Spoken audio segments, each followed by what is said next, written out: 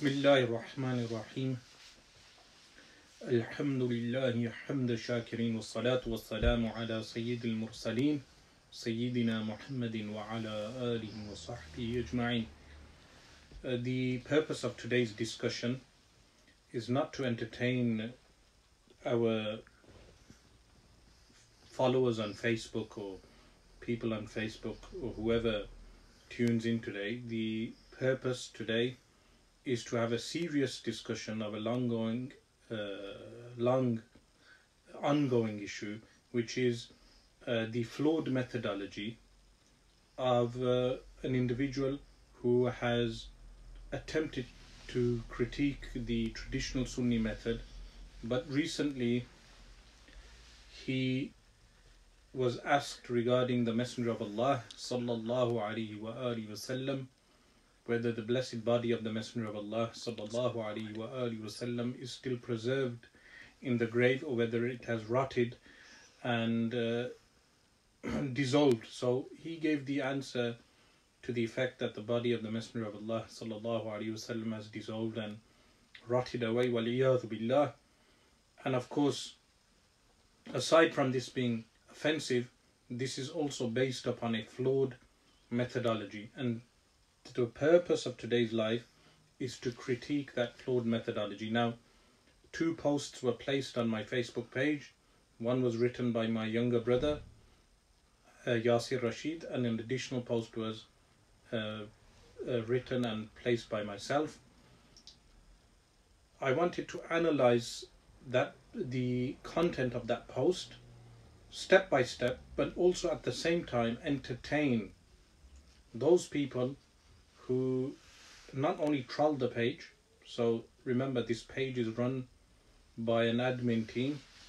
There are two to three people who run the page. I do not look at the page regularly except when I am with the, some of those members of the admin or if they bring something to my notice.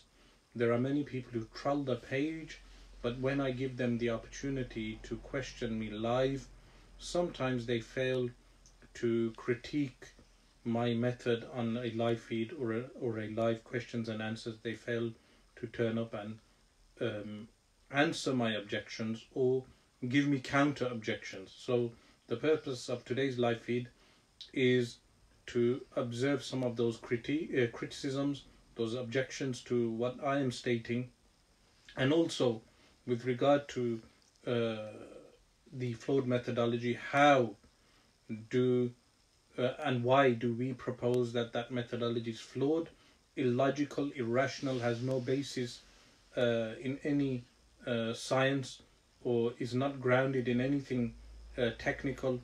some people will attempt to say that uh, the method that I employ is also uh, flawed. So, if they believe this, then they should uh, pose their questions, challenge me on the live feed, place your questions.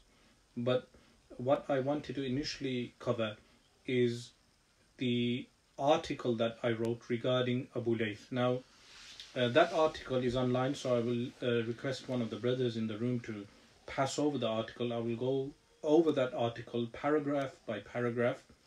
As I go through the article paragraph by paragraph, you can keep posting your questions, especially the followers of Abu Layth or Abu Layth himself. He can come online and he can critique my method.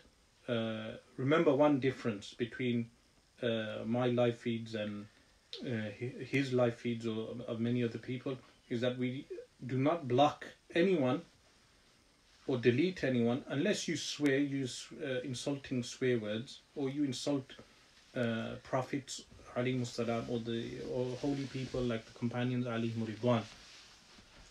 So uh, I would also uh, request some of the brothers in the room to, if there are any uh, questions on the live feed, please pass over the questions from your phone so you can uh, watch the page from your phone. And if there are any questions you can uh, pass over the questions to me whenever there is a question uh, online. Now the firstly the clip this individual has a monday nights live every monday now I have not been paying attention to any of his Monday nights live for a long time. Since we had our uh, initially what was a discussion, but then what broke into a shouting match because he continuously spoke over me, would not answer any one of the questions, or uh, diverted the entire subject.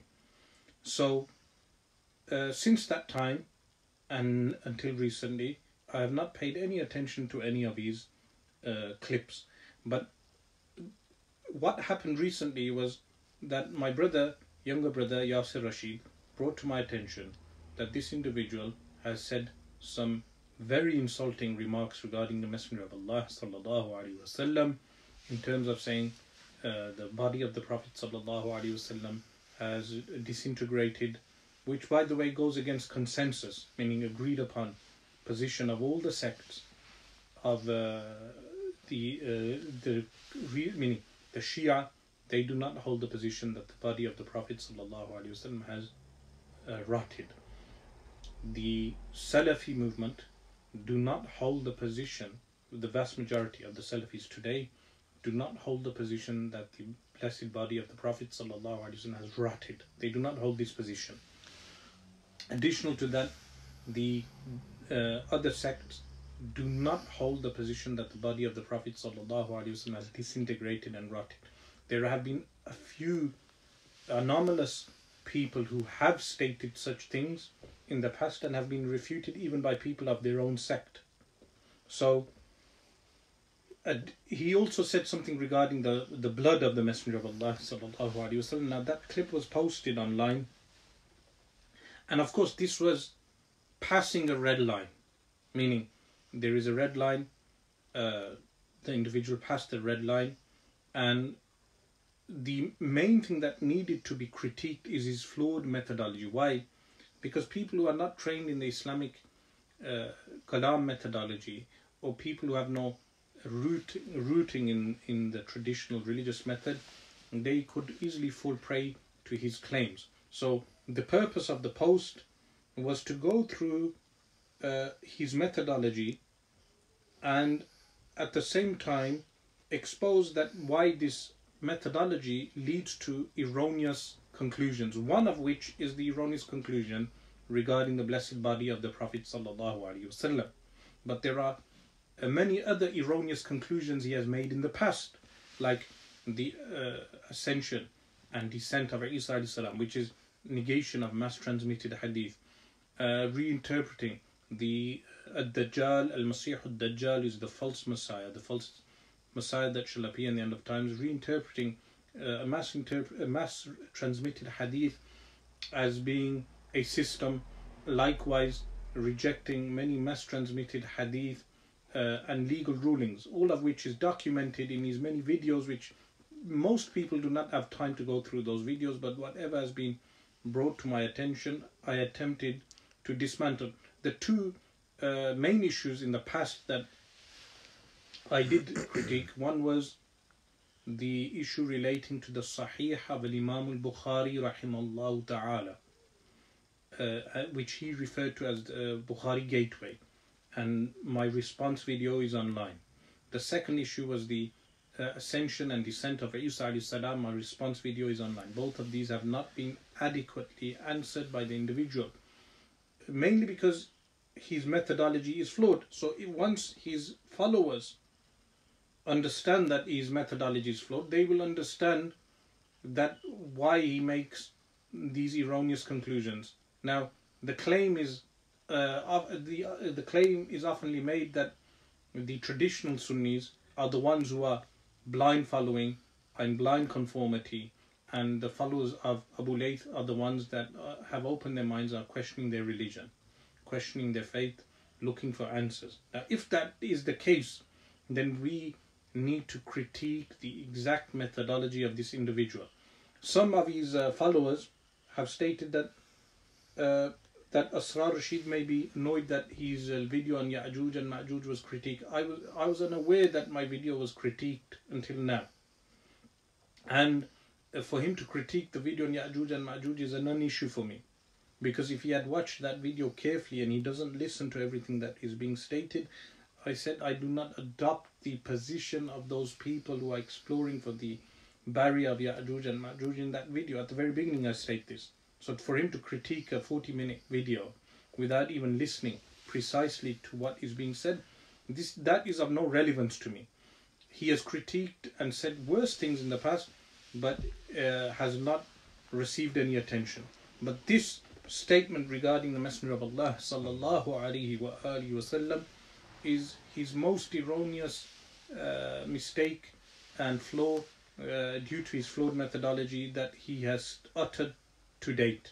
So, uh, the first paragraph um, in which I mentioned that if there is a verse of the Quran or a hadith that has a clear import, this individual, I state, uh, he, he would state that it is allegorical, symbolic, or totally meaningless.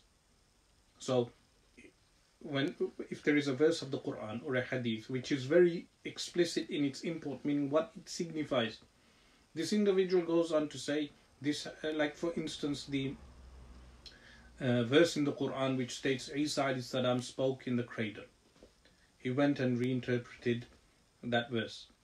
It renders the meanings of the Quran as being meaningless, meaning uh, so many of the verses of the Quran that he goes ahead and interprets uh, like the devils as being uh, the the innate nature of a human or the angels being something else reinterpreting. By the way these ideas are not new, unique or new to him.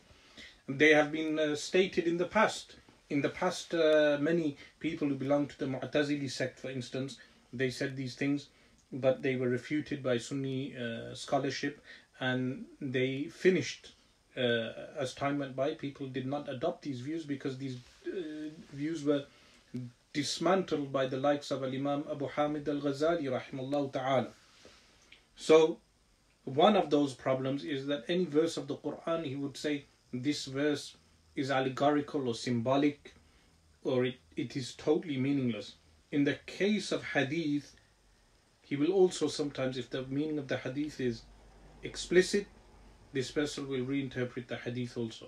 But additional to that, what he will do is claim a hadith is um, totally weak or forged. And these are claims made without any substantiation. Now, it is fine for an individual to make a claim, but when challenged on to, uh, to substantiate that claim and being unable to do so, and then making a mockery to cover up their vacuous, empty scholarship is shameful. Meaning, uh, a claim, a person can make any claim if that person is challenged then to substantiate that claim, to cover that up with a mockery or clowning or making a, a, a joke of, of the actual issue, is to cover up uh, the empty box that the person is. The, so, the two reasons which I present the first one, what I wrote was the first problem relates to a lack of being precise in what methodology is being employed in interpreting any religious texts. That means any individual can open up the Quran, read the Quran, and take any meaning that they understand. At the moment, Abu Layth is not delineating, demarcating any clear methodology that he is employing. Meaning, for instance, if you have a discussion with a person who belongs to the Hanafi school or the Maliki school, they will, uh, when interpreting religious texts, they will use the religious terminology of those schools, state that this verse is general in its meaning, or a verse is specific in the meaning, or, or a verse is abrogated, or a verse uh, has these reasons for its revelation, backtra- background of revelation, all these technicalities.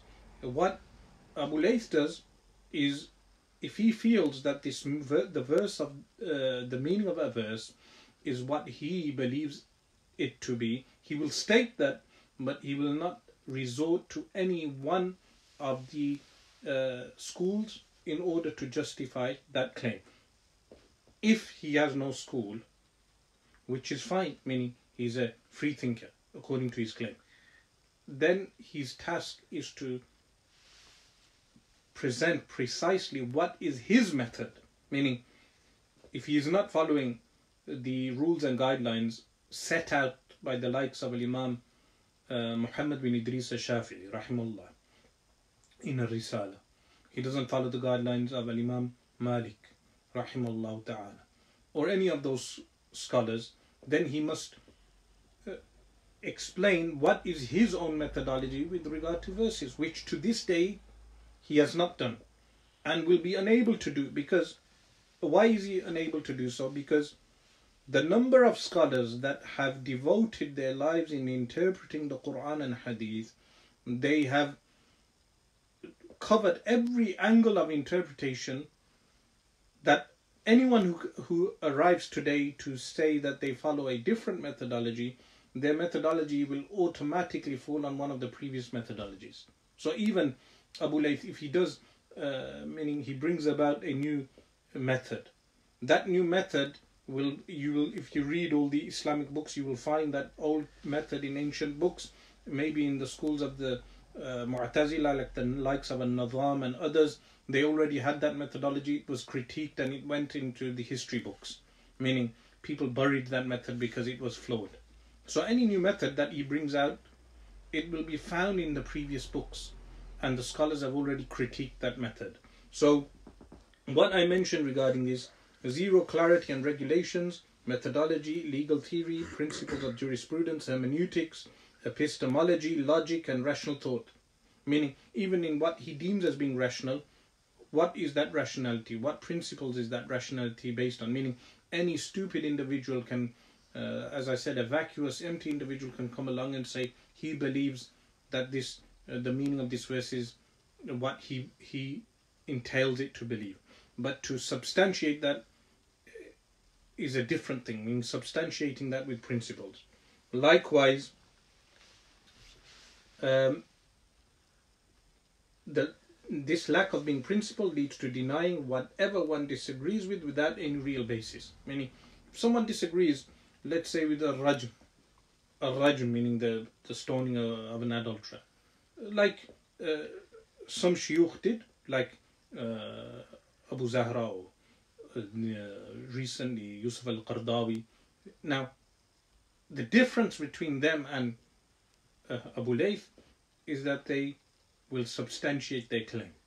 And then the Sunni ulama tend to refute their claim based upon principles. Uh, someone may say that this is pedantic, uh, pedantry. The, the actual response is that it is not pedantry, it is the normal rule of life. That if you read a text, you have uh, textual criticism. Uh, when you have textual criticism of any text, anyone who carries out textual criticism, they have a method on how they carry out that criticism. You cannot just have a haphazard, random method of interpreting any text. For instance, uh, tomorrow I have a debate with Christians. I have the Bible here in front of me. Now, it would be very unprincipled of me to critique the Bible in a haphazard uh, cowboy fashion. It would have to follow a set of principles. Likewise, uh, this was uh, the first point. The second problem is uh, zero application of Arabic grammar, rhetoric, and any other linguistic uh, Arab, linguist uh, Arabic devices. Now, that are absolutely essential to understanding the Quran and Hadith. So the first was uh, a lack of principles in interpreting those texts, and secondly, a lack of resort to linguistical devices. And this is very important because if you don't have grammar and you don't use Arabic grammar, you don't use rhetoric, like the hadith in question, إن الله حرم على الأرض أن تأكل أجساد الأنبياء. Meaning famous hadith, Allah subhanahu wa ta'ala prohibited the earth from consuming the bodies of the prophets. A very clear hadith. Of course, there are various, uh, uh, numerous variants of the hadith. The hadith is mutawatir. Mutawatir means so many people narrated the hadith that it is impossible for them to have convened and made a forgery. So conveniently, he reinterprets the hadith. Now, someone may say that we are straitjacketing the freedom of speech of people, curtailing their rights to uh, entertaining an idea. The answer is that is not the issue. The issue at hand is he made a uh, an interpretation. But that interpretation, he said, is preservation of the works of those prophets and not their, necessarily their bodies. On what linguistic basis, on what grounds of Arabic rhetoric have you stated as such? Meaning, if every individual interpreted language in accordance with what they feel the language means, then you will have numerous interpretations for one statement which will have no qualifications. So this is why towards the end of, end of the article some of his followers felt that I insulted his mother uh, and they said this is ad hominem. In reality, it was not an ad hominem. I'm saying that if you do not follow any rules of language, any rules of rhetoric, any rules of Arabic, every statement can be reinterpreted by every individual how they deem fit. A man gives divorce to his wife, but then when he has gone to court or brought in front of a qadi or a mufti, and he states that I did not intend divorce, even though his words are explicit. A man insults another man, but then uh, denies the, uh, that the word in itself is insult. Words will carry no meaning because every individual will interpret those words how they deem fit. If that is the case with every common speech, that every common speech fits the rules of language, then what would be the case with the Quran and the Hadith of the Prophet The Quran and the Sunnah have a framework of grammar, a framework of morphology, a framework of rhetoric, a, a, linguist, a linguistical framework in which nuances are understood, implications, signification of a word, all of this is understood. The science of rhetoric and um, uh, which is studied within all these schools of thought. So this, these are the two foundational problems with the methodology of Abu Layth. Number one, uh, no clear methodology in interpreting legal theory uh, method of interpreting verses of the Quran or the Hadith, how you declare a Hadith uh, mawdu uh, as being forged because you feel it is. I mean, someone picks up a work of Hadith, they feel the meaning isn't right, they declare it mawdu. But when uh, a request is made to substantiate that claim, you are unable to substantiate that claim, so you cover the claim up with comedy. You make a comedy of the entire situation, a parody of the entire situation. A person can have comedy and parody and all these things, that's fine. But if a claim is made and you are told to substantiate any of those claims and are unable to do so, it's very sad when a person would have to cover up their lack of uh, principled methodology with with uh, comedy and not a, a real academic response. So, uh, what I wrote with, with regard to this, this unprincipled methodology or no methodology at all means anyone can reinterpret any text of the Quran or Hadith without recourse to principles that are rooted in the Arabic language and legal theory, as was set out by the like of Imam Shafi'i in his Ar-Risala applying the epithet Maliki or Shafi and yet being a total dunce regarding the agreed upon principles of those schools is very sad to say in the least. Meaning, if you ascribe yourself to a school, Maliki school, at least furnish your claim with the principles of the Maliki school. Additionally, uh, uh, example, an example I gave of this was our discussion regarding the ascent and descent of Isa in my counter response, I requ requested uh, Abu Layth that he made a claim that 28 uh, companions, meaning the hadith of the descent and ascension of Isa is narrated by 28 companions in over 80 hadith. So many scholars they wrote on the compilation of the descent of Isa Anwar Shah Kashmiri's work is a famous work. There were others, uh, Sheikh Abdullah Al Ghumari, uh, uh, Mustafa Rida Khan, uh, many other scholars, they wrote uh, compilations on the hadith. The best work, in my opinion, is the work of a Sheikh Abdullah Al Ghumari on this particular issue. Uh, even a Sheikh Zahid Al Kawthari wrote a work on this issue. Now, to critique that is your freedom to critique. La ikraha din. There is no compulsion in religion. But when you make a claim, you must substantiate that claim. So you made a claim that the hadith of ascension and descent of Isa is a forgery, a Christian forgery. The response was simple that 28 companions narrated the hadith in over 80 narrations, some have compiled over 100 narrations. A simple request was made demonstrate how each one of those chains of narrations was forged by a Christian. In fact, even demonstrate how each chain is a forgery a demonstration of your claim. Substantiate your claim with your principles, your own principles, meaning who is saying to Abu Layth that limit yourself to our principles? Uh, the principles of the Hanafi school in, in Furu subsidiary rulings or in the Ashari school in terms of creed. Who is saying to you limit yourself to their principles? Meaning, when in dialogue with a Salafi or in dialogue with a person from any other sect, we are familiar with their principles. So we can discuss from the foundational principles that they have in their works, or even without their works, what they may state. This person is unable to give a clear methodology. That meaning even the likes of uh, Atabek with whom I had a dialogue. He has a book on his methodology in the Hanafi school, what he claims is a correct methodology. Even someone like him, who has some similar views to Abu Layth, he has a book on his methodology. His methodology is defined. So he was unable to furnish any proof with uh, with regard to showing, substantiating, uh, demonstrating how the 28 companions who narrated the hadith of the descent of Isa their hadith are forgeries. Yet uh, we are the ones that his followers are claiming that we are the blind followers. We are the people in blind conformity. When in reality, people who follow the Ashari and Maturidi and Athari method, meaning the three Sunni schools, they have a very clear methodology. A person can dialogue with us with, in accordance with our methodology.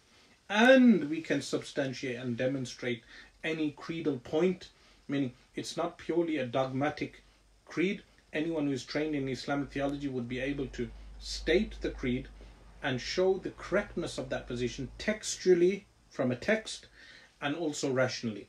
If there are any questions, uh, please do pass them over. Pardon? Go through the critique and then. Uh, any are there any relating to the current? Yeah, can you just uh, pass them so then place it on here. I will, I will go back to what I had written. I, I want to entertain some of the questions, especially of those people who are followers of Abu Layth. I am open to questioning, open uh, that you can object to me. I'm open to dialoguing with you. There is no blocking on my page. There is no banning. As long as you do not use foul language, and as long as there is there are no insults on uh, holy personalities, meaning as long as there are no insults and swearing and abuse, you are open to question anything. Unlike his page where he will ban anyone who even calls him by his name. So uh, uh, this page, inshallah, is open to everyone to come and critique even what I am stating. So I may respond accordingly.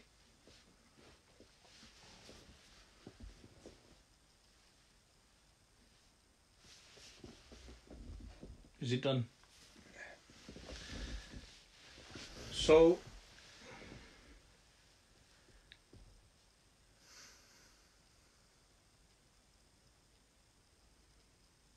uh, Ihya, uh, asks, Sheikh Asrar, what can we do to stop Abu Layth?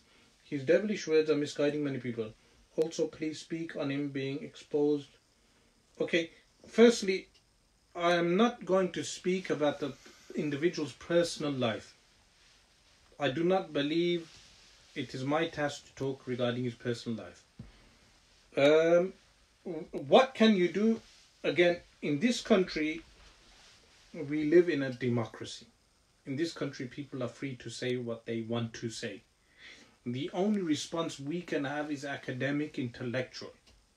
And that's with anyone in this country I would say internationally, because we live in a globalized world, a secular world today, that the response traditional Sunni Islam has always countered intellectually.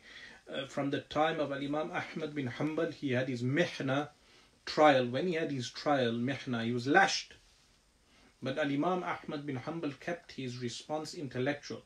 Today you have no Mu'tazila, but the creed of Al Imam Ahmad bin Hanbal remains. The Mu'tazila finished. Al Imam Abu Hamid al Ghazali, he wrote works, countered his opponents intellectually. Today you have the works of Al Imam Abu Hamid al Ghazali in every language, but the works of his opponents, you will rarely find them being read and studied. So the response, Ihya is uh, intellectual.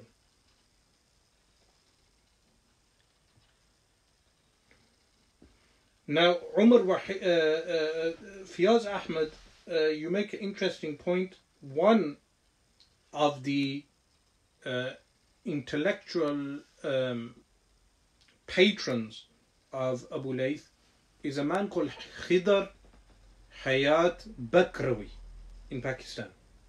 Khidr Hayat Bakrawi, a Deobandi scholar. He is a student of Yunus Numani. Many of the ideas that Abu Layth brings forward in the UK are from Khidr Hayat Bakrawi. So his ideas are not original, but his followers are unaware of this. Likewise, even his claims regarding the Sahih of Imam Bukhari were taken from an Urdu work, um, a book which I mentioned in my counter regarding his uh, critique of the Sahih of Imam al-Bukhari, rahimahullah ta'ala. So,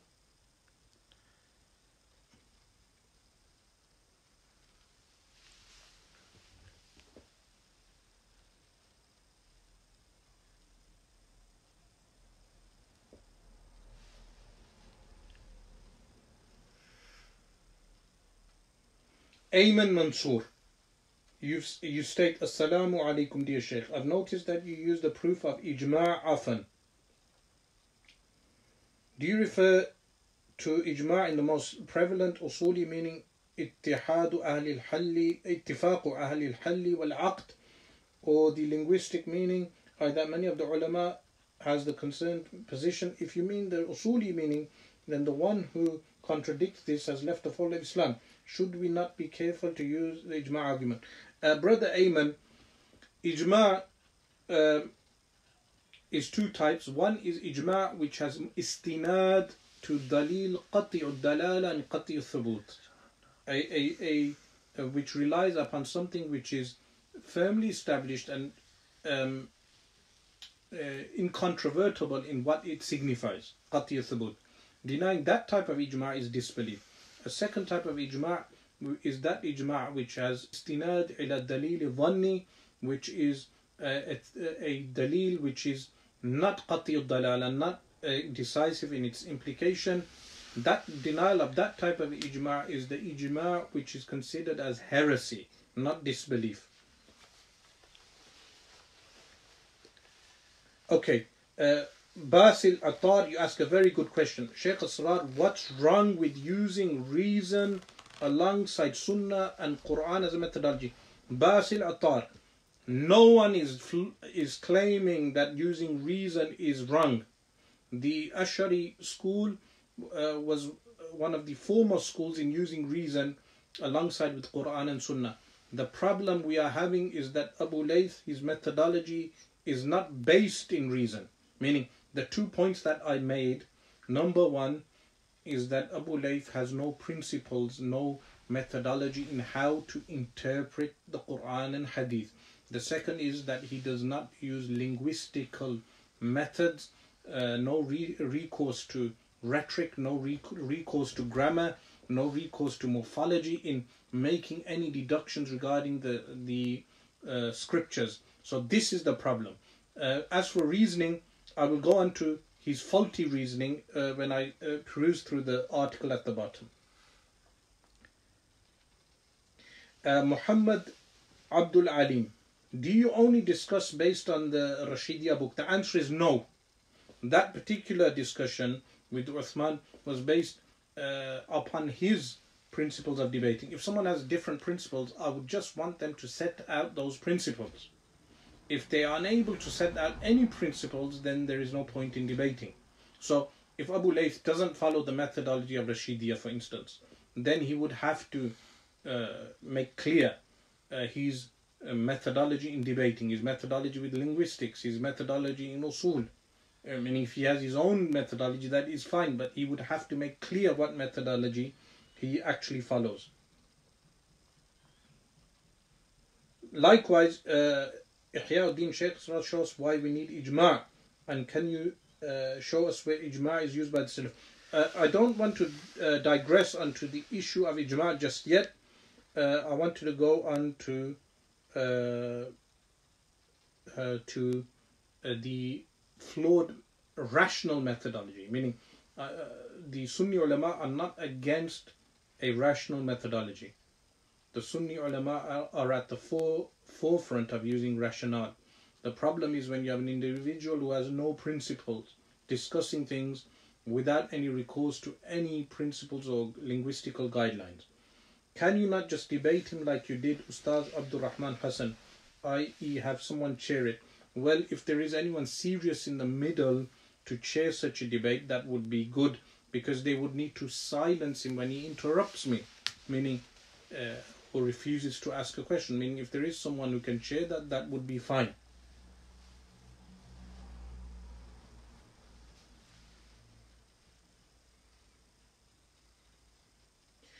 Uh, Ansar Hussein, shouldn't ulama from across the board be asked to respond regarding his beliefs? Why the silence? I'm sure there are many from Salafi, Deobandi background watching. What do you think about an academic condemnation across the board? Well, there should be an academic condemnation across the board, and people from those various sects need to be asked why they do, uh, cannot or are not responding to him. Uh, for the excuse made that uh, we are only giving him attention or increasing his uh, fame. You see, the problem is not an individual. The problem is that you have uh, a no method being promulgated, a no method of interpreting the Quran. That is what needs to be tackled. That uh, we need uh, people to be very clear on what method they follow. So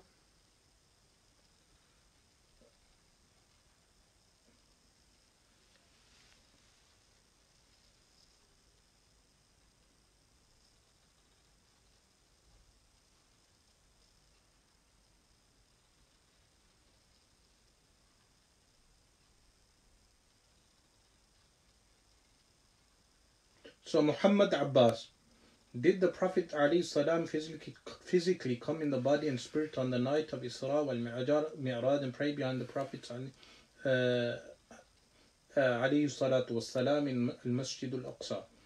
Firstly, uh, Abu Layth, in his methodology, I will go back to the article once we finish crit- critiquing him from uh, what is a rational and a uh, methodological approach to his uh, his uh, his uh, criticisms, then we will be able to answer many questions. So after I um, made it very clear that Abu Layth has no clear principles in how to interpret a text of the Quran or the Sunnah. Likewise, if he declares a hadith a forgery, he will claim without any substantiation. And likewise, he will state that uh, something uh, is allegorical or symbolical or has no real meaning uh, without any recourse to rhetoric or Arabic language. This is the first thing. Secondly, one of the uh, brothers there uh, asked a question regarding what is wrong with rationality, using rationality alongside with Quran and Sunnah. The response is that Islam encourages people to use their minds, encourages them to follow creed without blind conformity. The problem I am having with the no methodology of Abu Layth is that the person cannot even distinguish between rational judgments and empirical judgments. Uh, this is something very clear. What do I mean by uh, rational judgments and empirical judgments? If someone can just know these basic things, they will be able to. I mean, this is like giving you a screwdriver by which uh, every individual is able to then unravel and unscrew and take apart his entire arguments. Uh, judgments are three types. You have a legal judgment. The Quran and Sunnah states something is halal or haram. That's a judgment. Meaning the very meaning of judgment is affirming or negating something. The second type of judgment is from our observation of phenomena around us. So we observe water flows downwards. We observe that if you place water on a plant, the plant will grow over time. We observe that if you cut uh, the skin of someone, blood will come out. These are these are empirical judgments. What Abu Layth is doing is confusing uh, empirical judgments with uh, empirical judgments with uh, rational judgments. This is very important for people to understand. This is what I mentioned in the article. Um, two common themes you will notice in his outrageous statements, which have now many have bec uh, become desensitized to and thus lost interest, are a denial of the unseen, supernatural, and miraculous. Meaning, anything which is metaphysical beyond this realm, he denies. Meaning, a materialistic outlook. Why does he deny it? Because he confuses the observable nature around us with the rational. So, people, uh, if I say to someone, that a tree can grow without roots, they will say that's irrational. But is that actually irrational? The answer is no. That goes against what we observe. There's a distinction. The second uh, point I mentioned is outrageous verdicts that are deemed anomalies by normative Islam. The, the second issue I didn't cover as much, meaning there may be many people who listen to Abu Layth because he gives nice verdicts for them that they are permitted to do so many things which Allah subhanahu wa ta'ala has, has, prohibited. They don't like Sharia, they don't like the restrictions of Sharia, so they follow him. I didn't cover that. What I covered is the the theological and uh, theological flow and those things which relate to creed. So with regard to the first, which is a denial of the unseen or that which is miraculous, this is based on the inability I say inability because I genuinely believe he's unable to make a distinction between a rational judgment and an empirical judgment. Hukm aqli and hukm adi. Now I'll go into this, I'll just. Uh, Asad Hussein asks, which Islam are you following? Islam is one, brother. Islam is one. Uh, I belong to Ahl Sunnah wal Jama'ah.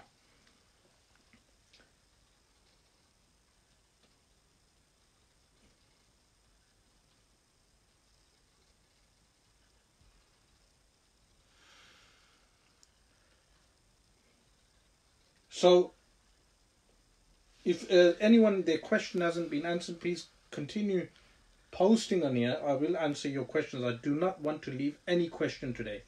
So, if a person cannot make a distinction between a rational judgment and an empirical judgment, they will fall into the main mistake that Abu Layth is making. What does that mean? Some of his uh, followers will ask him the question, How can an angel come in the form of a man? They will say this is impossible. But what they mean to say is that they have never observed such phenomena. There's a distinction. Impossibilities are something else. Impossi- rational impossibilities are those things that the mind will tell us without any recourse to observable nature, to something in the outside world, from the mind, purely from the mind, that we know it is impossible. Like if someone says to you, 2 and 2 makes 5, from the mind you know this is impossible.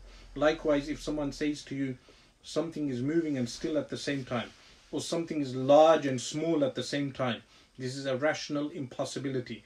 But miracles do not fall into this.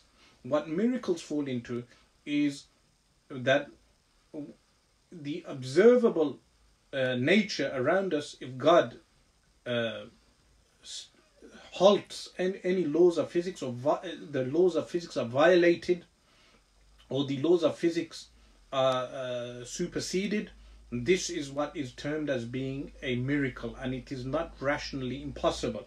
So uh, in, in theology, rational theology, they term this as being al-hukm al-adi, meaning the first one empirical judgment and the second one is al-hukm al-aqli, rational judgment.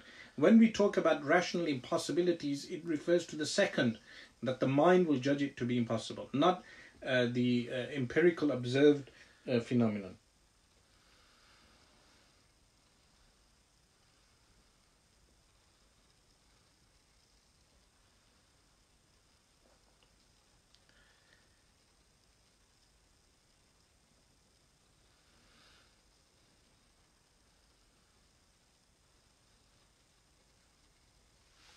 So, the example I give if I said to an individual 1400 years ago that metal can fly, he would reject it as impossible. Or if I said I can travel to, from Mecca to Jeru- Jerusalem in a short period of time, they would have also dismissed that as being impossible. But this type of impossibility is classified as being an empirical impossible, uh, impossibility and not a rational impossibility. The very meaning of rash empirical impossibility is that we do not observe such a phenomenon. So 1400 years ago, if I said to Abu Lahab that metal can fly, he will say this is impossible. He may have meant rationally impossible, but what he should say is that it is what empirically impossible, meaning we do not observe such things. So when miracles occur, it means it breaks the norms, the violations of the norm. That Allah subhanahu wa ta'ala, with His divine power, violates the norms that we observe. This is something so vital that if the followers of Abu Layth understood this, they would not follow any of uh, those statements that he makes, or they would at least open their minds and be critical of him. This is why I've opened up. Uh, so uh, here, Ilyas uh, Galufi states, "What makes a rational judgment a rational judgment? As a rational judgment is also dependent from an observation. Uh, incorrect. Sometimes, uh, or many times, we make rational judgments without ever having observed the phenomena. We would know certain things without observing phenomena. Uh, empirical judgment depends on the continuous observation of something, meaning water flows downwards. We continuously observe this. For the most part, uh, water flows downwards. But sometimes, if someone says water can flow upwards, rationally speaking, that can happen. But someone will say we do not observe it, but rationally it can. Unlike saying 2 and 2 is 5. Rationally and empirically that's impossible. Uh, Ahmed Qasim, you say, uh, I believe a neutral venue and a mediator would be beneficial to allow a debate to happen and give you uh, both the space to make your arguments. I believe so also that, uh, of course, a neutral venue and uh, a mediator would uh, this would be uh, something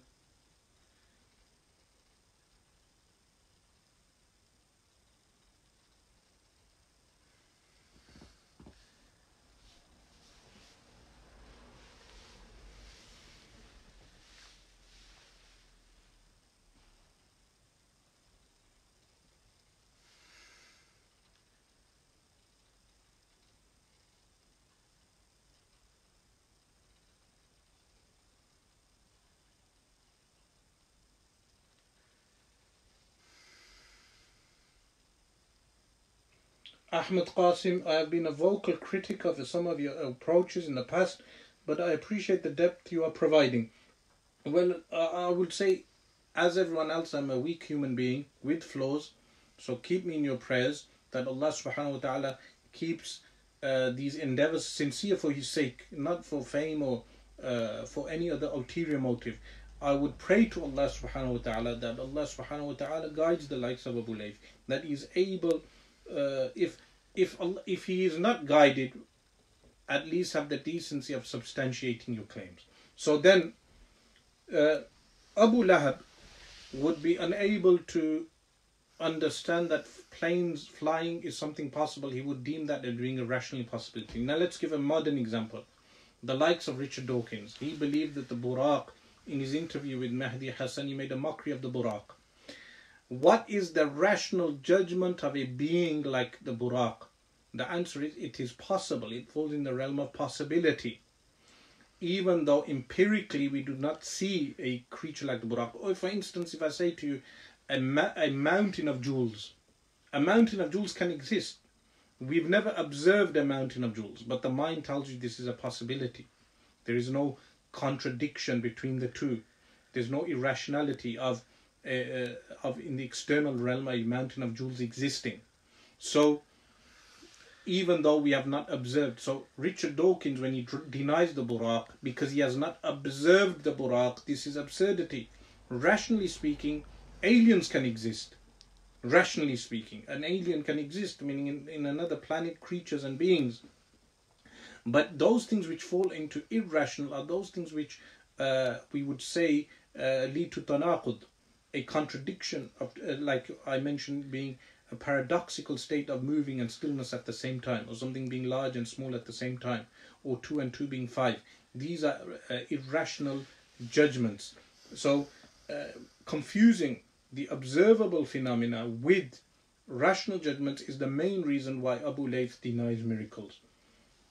So, uh, what I mention here also is so with our modern Abu, there is a lack of comprehension on these simple distinctions and subsequently a total denial of the divine, being able to suspend the laws of physics. Meaning, the divine power of Allah subhanahu wa ta'ala relates to those things which fall into the domain of possibilities.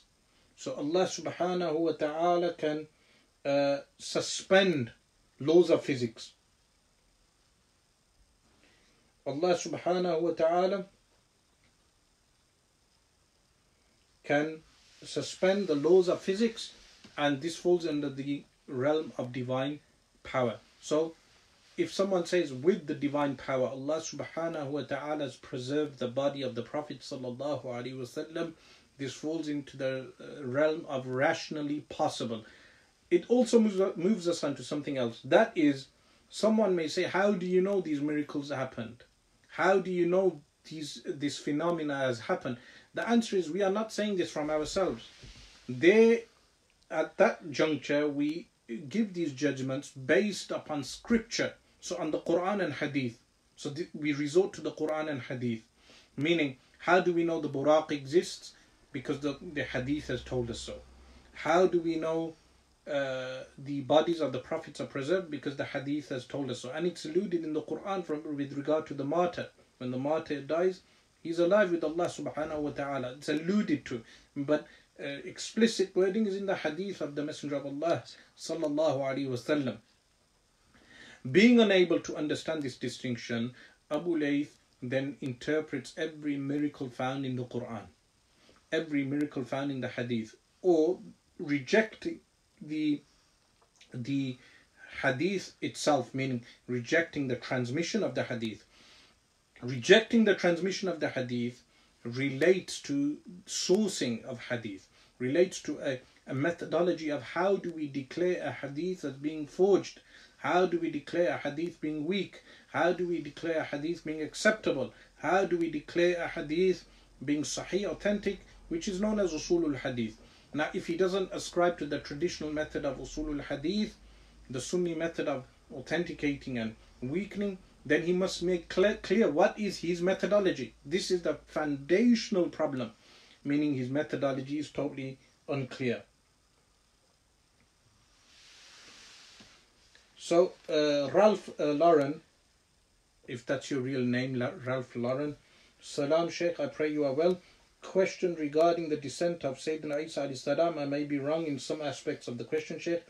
How would we respond if someone says that a person enters uh, a person enters Jannah, then they will uh, not leave Jannah like Prophet Idris salam entered heaven and chose not to come back. So if Sayyidina Isa salam is in the heavens right now and descends from the heavens near the day of judgment, will this not mean Allah has gone against his promise that once someone enters Jannah, they will never leave? See, uh, questions like this, a simple point will make you understand. The heavens, as-samawat, are different to Jannah paradise. Paradise is a creation on the right hand side of Sidratul Muntaha, the furthest lote tree, which is above the seventh heaven. The seven heavens are as-samawatu saba, the seven concentric layers of the heavens where Sayyidina Isa ascended. He did not enter paradise. Paradise, Jannah, is a totally different entity. See, a simple distinction like this now. That if someone doesn't know that distinction, they would fall into the mistakes of Abu Layth thinking that there is a contradiction in the Quran and Hadith, when in reality there is no contradiction.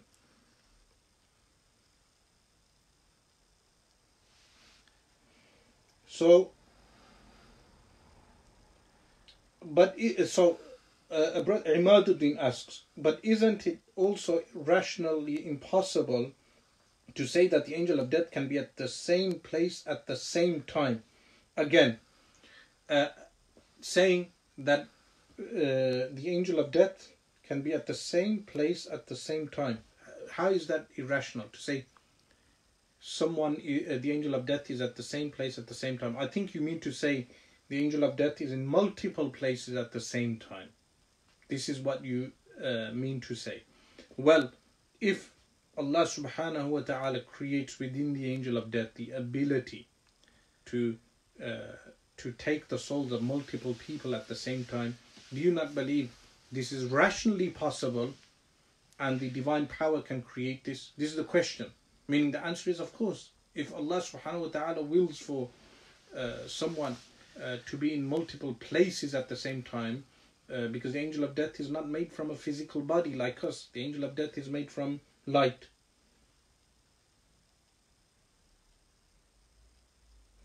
So, uh, Sher Khan writes, Naeem Ajmal is also live on Facebook.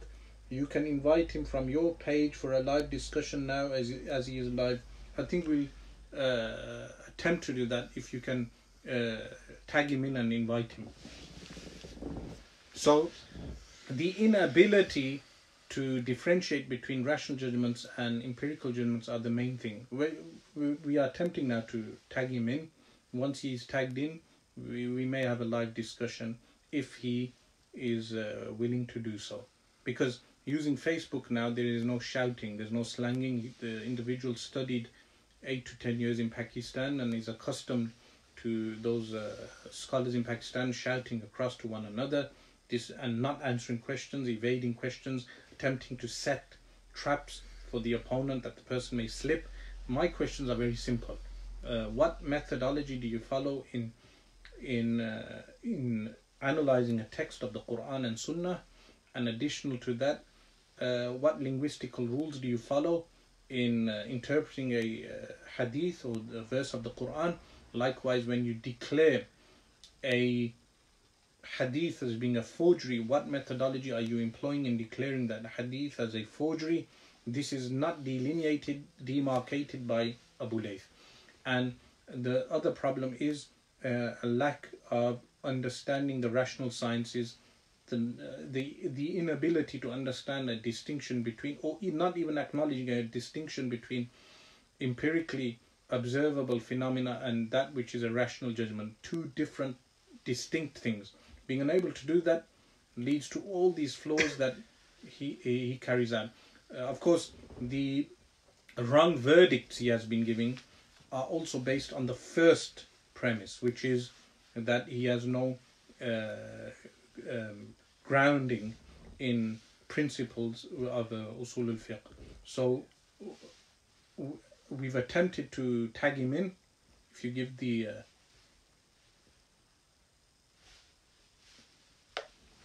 did you tag him? He's been tagged, but he's, he's not um, an invite to the session.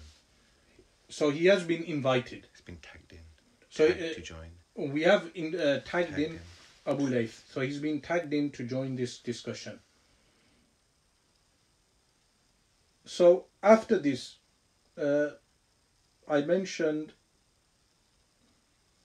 uh, something, uh, a last point, which was regarding insult, which some of his followers took personally. But the response to that is Al Imam Sa'aduddin al Taftazani in Sharhul Aqaid mentions a group of Greek philosophers that do not even acknowledge the existence of material beings, the material world. And he says there is no cure to them. Likewise, uh, if a person does not furnish any clear methodology, there is no cure. Meaning, if they decide to use insulting remarks regarding great scholars, like he has done regarding some of the scholars, uh, and uh, insulting remarks regarding the Messenger of Allah, sallallahu alaihi wasallam, what cure is there for such a, an individual?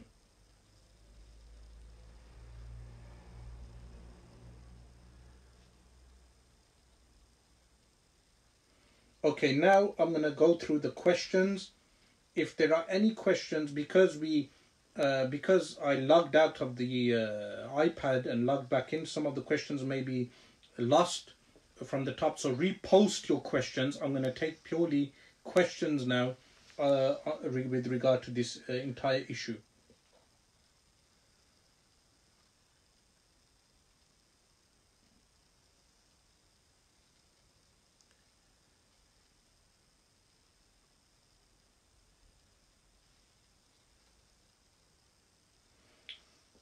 Uh, first question, uh, there is a question here.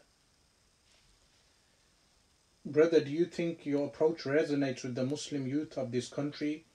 Uh, well, you need to ask the Muslim youth of this country, even though um, I think the question is irrelevant to the actual discussion, meaning the discussion of the uh, with regard to uh, Abu Layth, uh, his flawed methodology.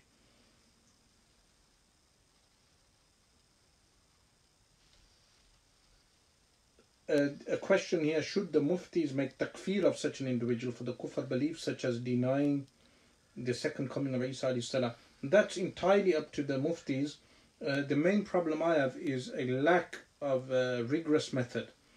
Meaning what this leads to is a haphazard cowboy method uh, a cavalier method in interpreting the Quran and Hadith. Even though a person may tout themselves with the titles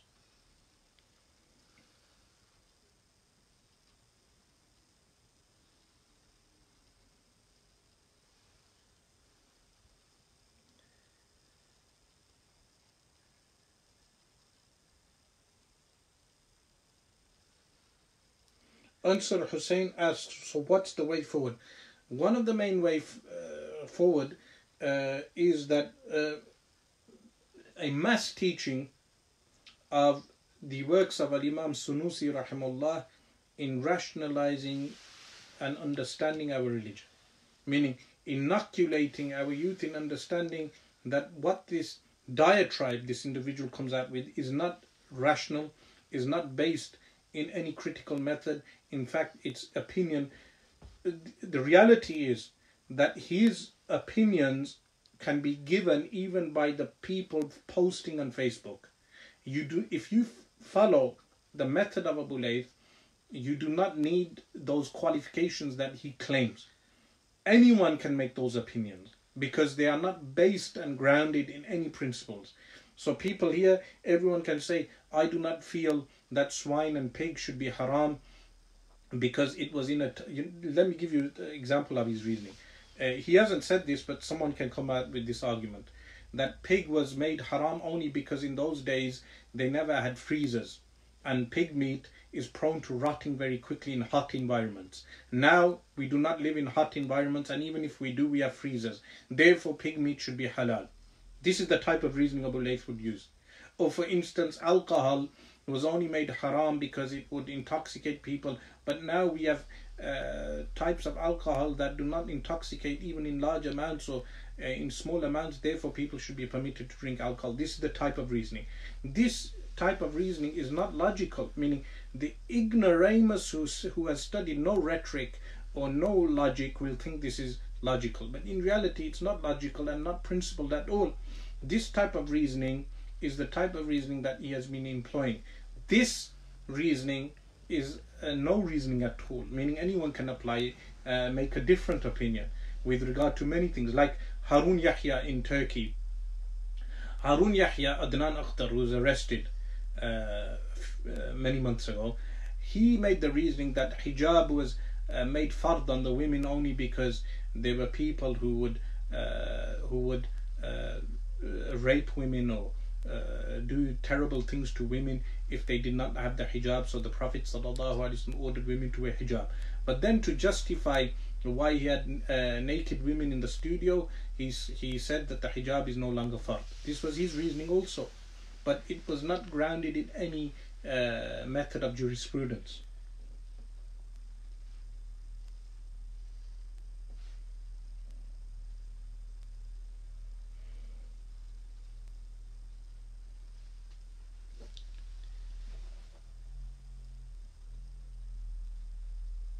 Uh, Muhammad Kamran Rashid, Mamati don't believe in the Aqidah of Hayatul Nabi according to you, Sheikh, you, uh, what you said in the start, that many sects have the same belief regarding the issue.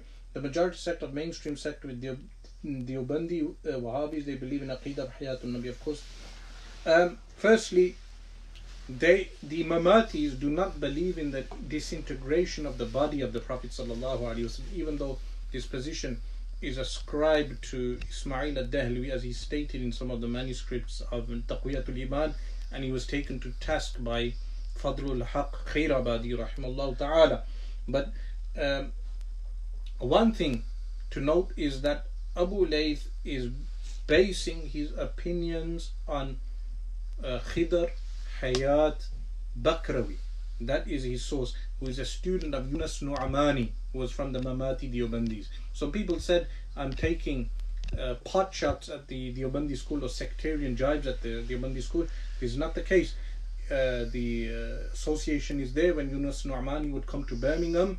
One of the people to associate, from what I am told, with him was Abu Layth.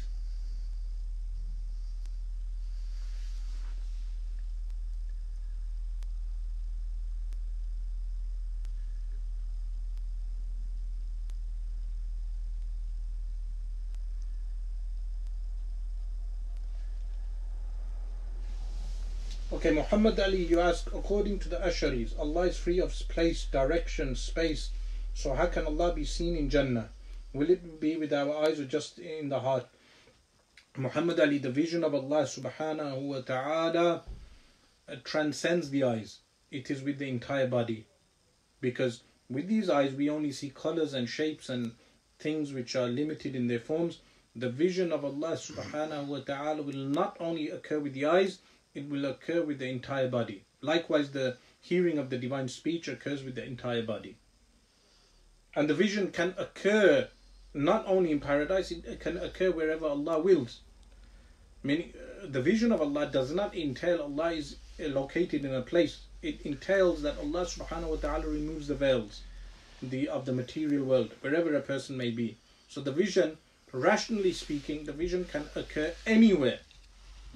But out of nobility for the people of paradise, Allah subhanahu wa ta'ala will make the division occur in paradise.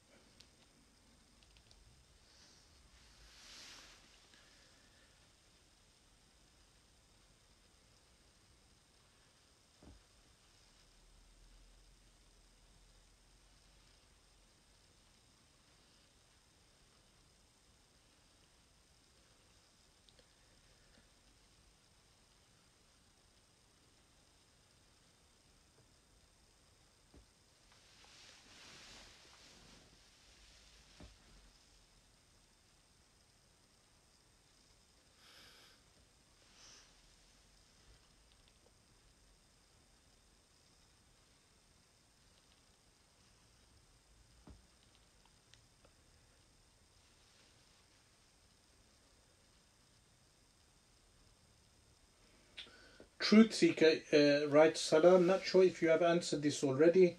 You mentioned a few scholars did have the same views as Abu Layth and they were refuted. Can you mention who they were and who refuted them? Uh, well, if you check the works of heresiology, the different works of heresy, you will find that some of those views are found in those works like uh, the denial of the descent of Isa salam. So uh, different sects from within the Mu'tazila because the Mu'tazila divided into subsects. When they divided into subsects, some of them held some of those positions which he articulates today.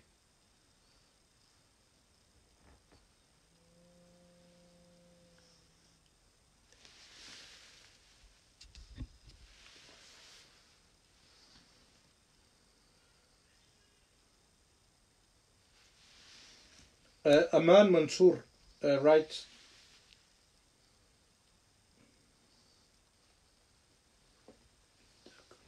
comment. Yeah, so Aman Mansour writes a critique of the Brelvis. Some Sufis say that the Holy Prophet sallallahu alaihi wasallam attends multiple hadras in different places at the same time. Isn't this tanaqud? How can we believe this? Now, they firstly, the, bod, the blessed body of the Prophet ﷺ is located in his blessed grave and, and will remain there until the day of judgment. So the Prophet ﷺ, his blessed body does not go out to various locations.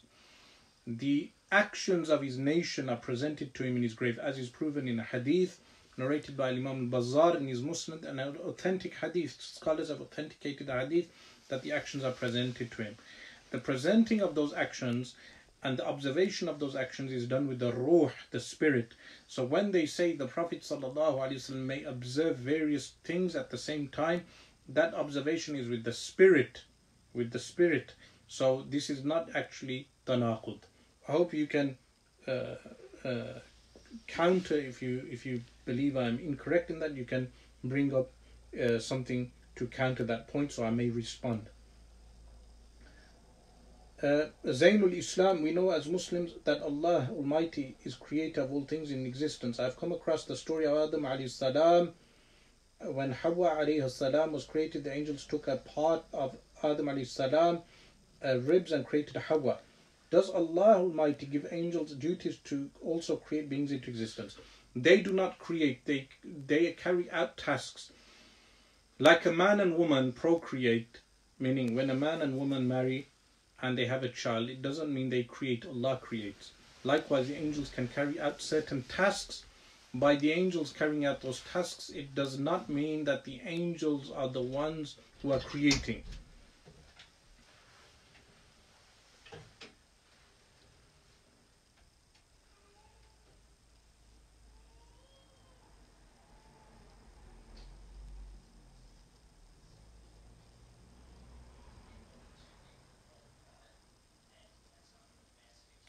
Uh, Muhammad Abdul Ali, uh, Alim, can you base Aqidah on singular narrations? Answer is yes, Aqidah, but again, that Aqidah would not, uh, in the rejection of which would not entail disbelief. So someone can hold a belief regarding low narrator reports, but rejection of that would not entail disbelief. It can entail heresy if there is ijma'.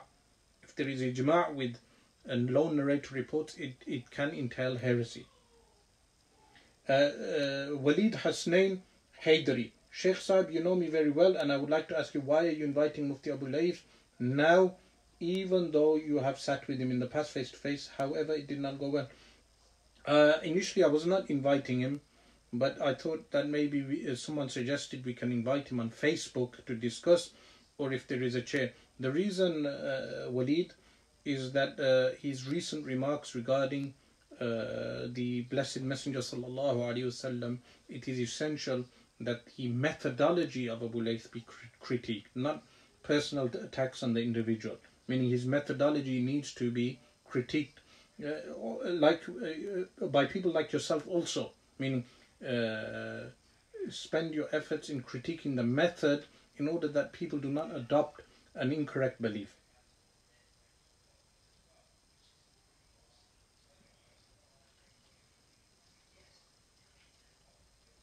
So, Muhammad Ali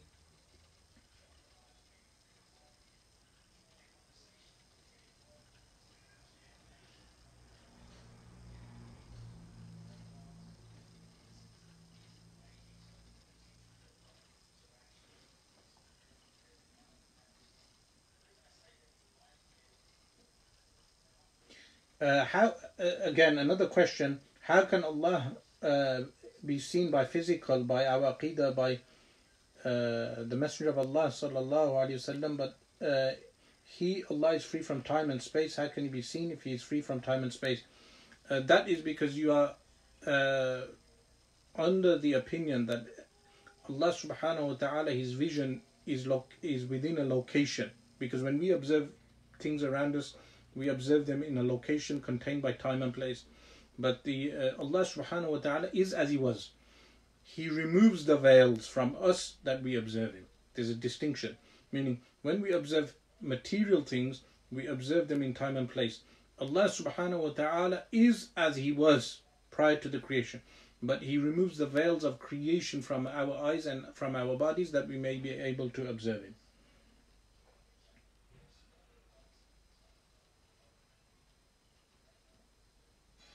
What advice would you give to our Sunni brothers who follow Abu Layth and still won't leave his side? Well, if you decide to follow him, at least be able to answer my contentions in a in a rational math method without resorting to ad hominem attacks, without resorting to a mockery. Answer the points. If you cannot answer the points, then uh, we the la ikraha fiddin, there's no forcefulness on our part in terms of forcing people not to listen to him. They can listen, but what we will understand that these people are irrational fools, meaning foolish people.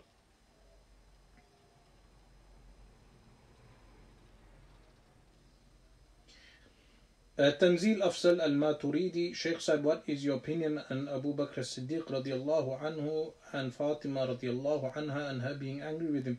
Tanzil, again, this question is not on the subject. So please, everyone remain on the subject. Of course, uh, the uh, answer to your question can be given on Friday. On Friday at uh, 9 p.m., there will be a live questions and answers on uh, similar types of subjects.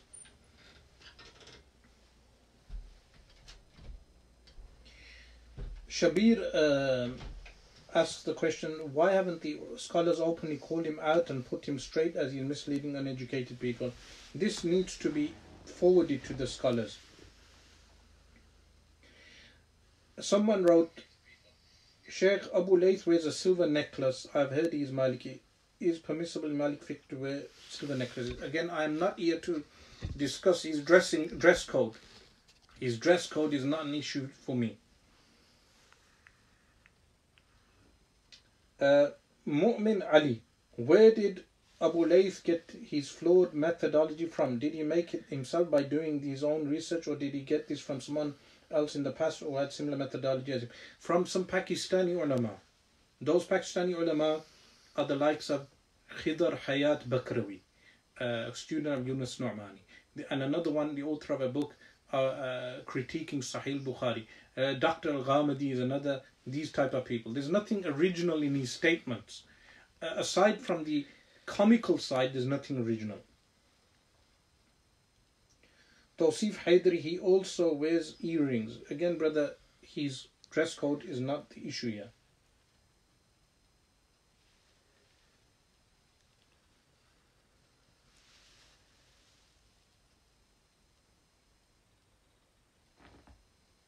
Waqas uh, asks, when must one issue takfir? Remember, takfir is an issue that is contentious. Mean, even in the Maliki school, takfir is only done through, uh, in the Hanbali school, Hanbali school, takfir is done through qada, meaning uh, it's taken to a court. So, uh, and there are precautions for takfir also. So this is for something for the very learned scholars uh, to do.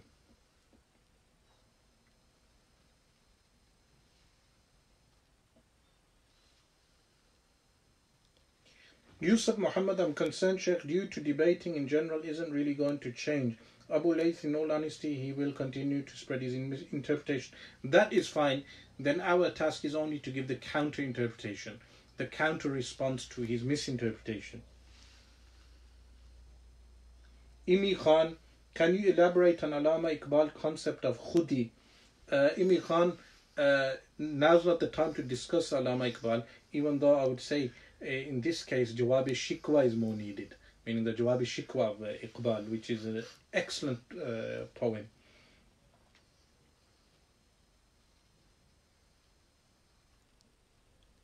Uh, Khan Khani, Astaghfirullah, you nearly cracked a smile. La hawla wa la quwwata illa billah. Khan Khani, I tend to smile a lot. Uh, it seems that some people are obsessed with my smiling. So whether I smile or not, again, is irrelevant to the discussion if you meet me in person, you will realize I'm a human being like yourself and I also smile. If I do not smile, if Allah has created me with a serious demeanor, this is the way Allah subhanahu wa ta'ala has created my face. But uh, again, such petty uh, comments are sometimes the haunts of empty minds. What is our role as youngsters in West when we see the bloodshed in places like Syria and Kashmir? Firstly, we need an intellectual awakening. That intellectual awakening is knowing our religion as a totality has even a system of governance. increasing our knowledge with regard to that system of governance.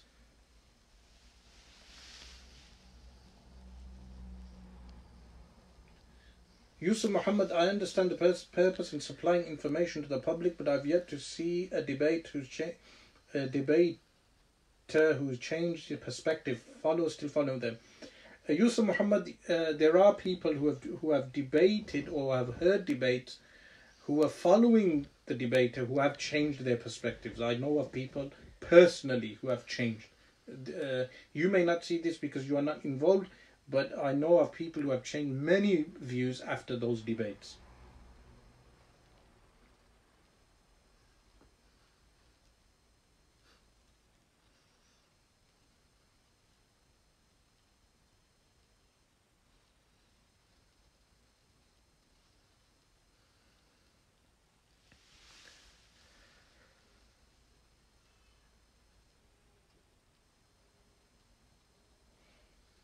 Tanzil Afsal Maturidi, again you ask, was Fatima alayhi salam angry with Abu Bakr Siddiq radiallahu ta'ala anhu? Again, I said tune in on Friday. This subject will be discussed. You can ask your question on, on that.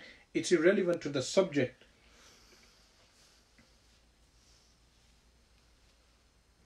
Um, Ralph Lauren, Sheikh, what uh, should our aqidah be about the following? The Quran states that someone was made to resemble uh, Prophet Isa. Uh, actually, the Quran says shubbiha lahum, and it's a matter of uh, interpretation. Shubbiha lahum. Some scholars have said that it seemed that he was crucified, but others have said that they, the word is from shubha, which means doubt, that they have been placed in a doubt. So that would be the uh, best response to your entire paragraph.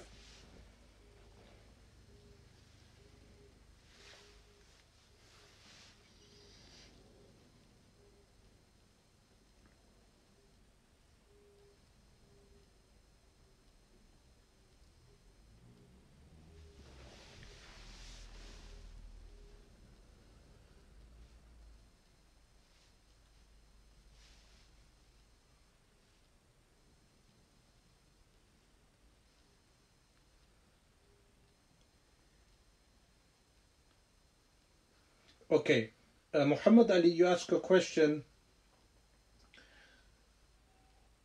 Uh, why isn't tafweed and ta'wil done for the verses regarding seeing Allah like we do with uh, istiwa? Why is there a distinction between these two? Who said there is a ta'wil for istiwa? Istiwa, we do tafsirul Quran bil Quran. Allah subhanahu wa ta'ala says, Ar-Rahmanu ala al-arsh istawa. That Ar-Rahman, the attribute is mentioned. Ar-Rahman made istiwa upon the throne. This, what does the word istiwa mean? We look in the Quran again. ثم استوى إلى السماء فسواهن سبع سماوات.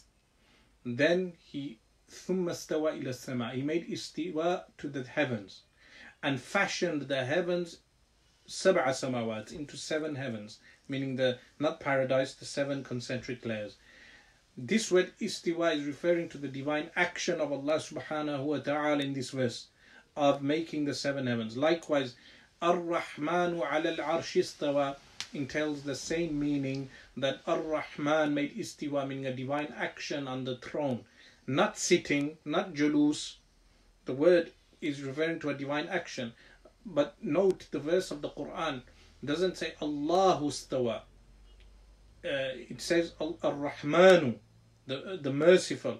Why? Because the mercy of Allah subhanahu wa ta'ala encompasses the throne and everything underneath the throne. Why is the throne specified? Because the throne is the largest creation of Allah subhanahu wa ta'ala. So istawa is referring to a divine action. So we we do not make that we we take we do tafsir of istawa with tafsir al Quran bil Quran.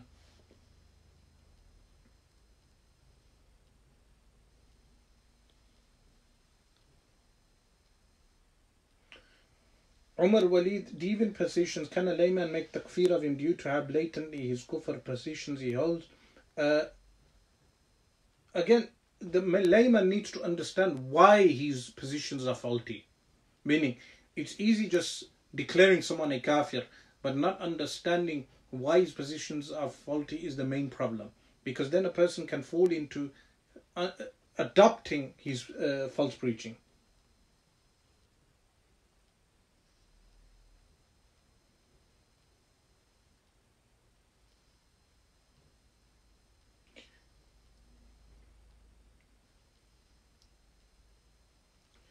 Muhammad Ali, you ask, I have heard that Abu Bakr al Jassas denied the vision of Allah.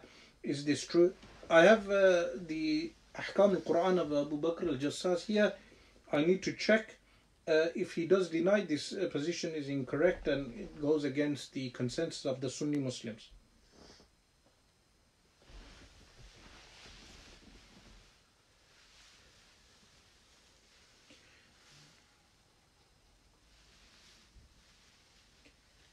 Uh, Mu'min Ali, how come there are a lot of people following Abu Layth this day and age? Do you think this may escalate and become a big problem in the future?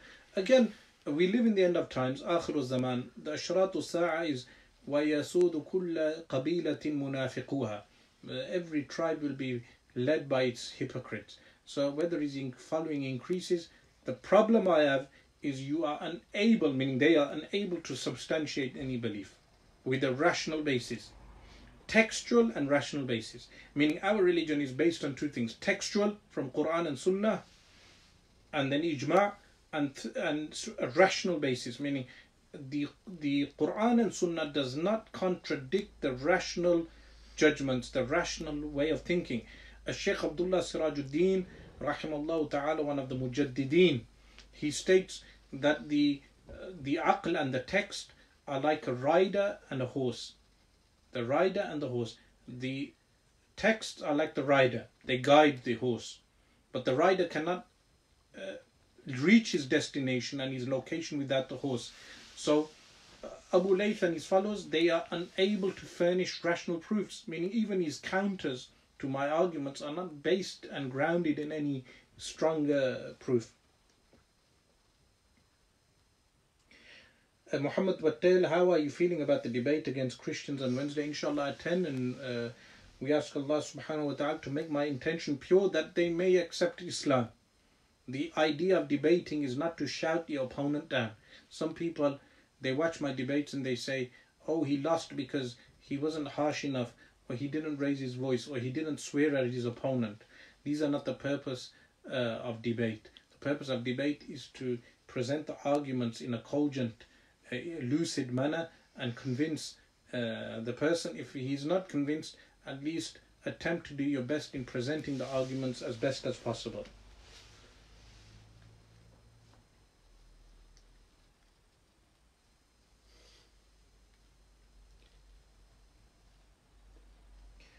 Luqman, uh, what are the necessary beliefs in Islam beyond the five pillars and six articles of faith?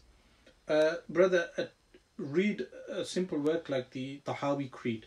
You can pick up this work in one pound, an English translation of the Tahawi Creed, and read, and it has all the essential articles of faith. The Tahawi Creed is an amalgamation of the Ashari, Maturidi, and Athari creeds all in one text.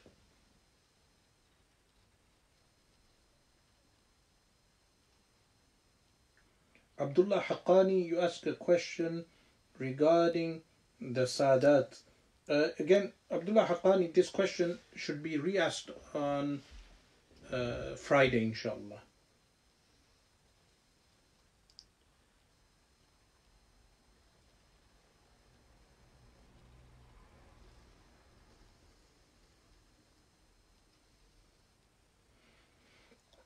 Waqas, you ask a question, do we hate the actions of the one performing the action? Can we differentiate? Example, murtad the answer is uh, we dislike disbelief. Our hatred is towards disbelief and irrationality. Uh, uh, our hatred is towards disregard of the rational way of thinking, a cogent, clear, crystal clear way of thinking and understanding the Quran and Hadith.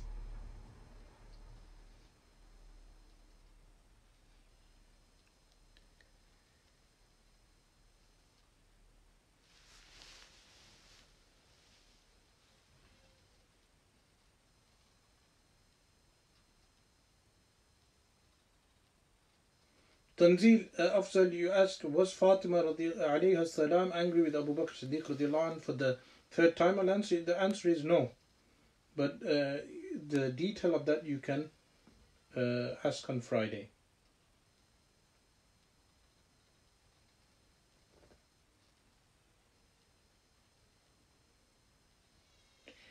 Uh, Danish Khan, you ask, is Abu Layth a Muslim? Uh, he does not uh, seem as a Muslim to me. I believe he's a closet atheist or agnostic. I'll be very frank and candid as possible. I believe he is an agnostic, posing off as a Muslim.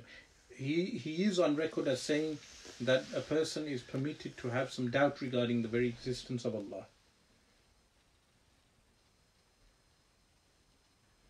Muhammad Umar, can you please explain in simple terms the correct interpretation of the hadith Abu Layth mentioned about the earth not consuming the bodies of the prophets? The correct interpretation is the bodies of the prophets salam, are preserved, meaning that is the clear cut understanding of the hadith that the bodies are preserved. Then there is additional things like they are alive in their graves, which is an additional discussion, which Al Imam al Bayhaqi, rahimullah, he has an entire work on Hayatul Anbiya. He compiles many of the narrations proving that the prophets are alive in their graves. This does not negate that they tasted death. Every soul tastes death, but after their bodies are placed in the graves, Allah subhanahu wa ta'ala returns their soul and gives them an ithmas life, a, a special life in the grave.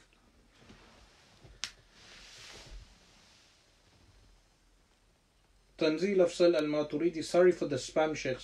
Apology accepted. Abdullah Haqqani, Sheikh, may Allah bless you. Can you please enlighten us regarding to bay'ah? Is this fard to do? The answer is no, uh, Abdullah Haqqani. It is not fard uh, to do bay'ah. Uh, in fact, you should, um, below the current video, there is a post on a book, The Sufi Lighthouse. Order this book purchase this book and read that book.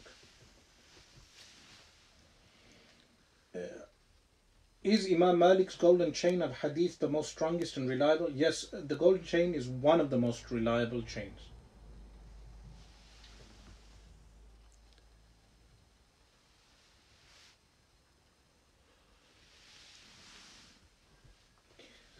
Tanzil Afzal al Maturidi. Okay, Sheikh Saab, I have one question. I'm currently doing a Aqidah course on Maturidis with Sheikh Atabeg. Should I carry on or not? As I think he holds some weird views. However, on Maturidi Aqidah, I think he is neutral, but I want your advice. Uh, Atabek Shukurov, in my opinion, is a person of innovation bid'ah. You should stay away from him and find another Sunni scholar and study with that Sunni scholar.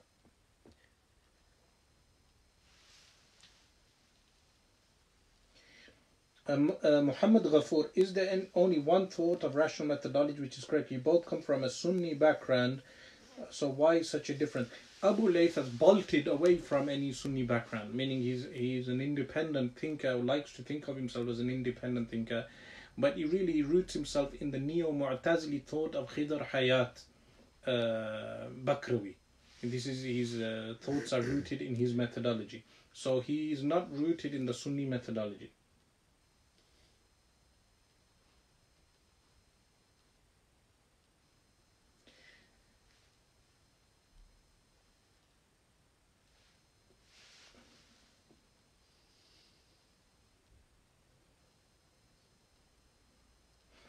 Muhammad Ali, why did the Prophet ﷺ compare seeing Allah to seeing the moon? Isn't this against the verse, no one resembles him? Uh, firstly, uh, this is one of those things again which comes down to fahm, understanding. The Prophet ﷺ was asked by the companions, How will we see Allah in the hereafter? The Prophet ﷺ said, Do you not see the full moon? They said, Yes. Is he comparing the moon to Allah or is he comparing the vision of the believer to the moon? that vision of the believer is being compared to his vision in the hereafter. I mean, the moon is not being compared to Allah. The vision of the believer is being compared to the vision of the believer in the hereafter. So, a simple understanding. Now, uh, Sheikh Salih Al Uthaymeen, unable to understand this, he said uh, that the way the moon is located in the heavens, Allah is located in the heavens. Meaning, or some words to that effect. I don't want to misquote him, but they believe that the likeness is being done to the moon again like this the, the rational faculty in the, the correct Sunni methodology, there is no contradiction between the rational mind and the Quran and the Sunnah. But those who have a faulty methodology, when they find an apparent contradiction and they are unable to reconcile the two, they resort to the, the methodology of this Abu Layth.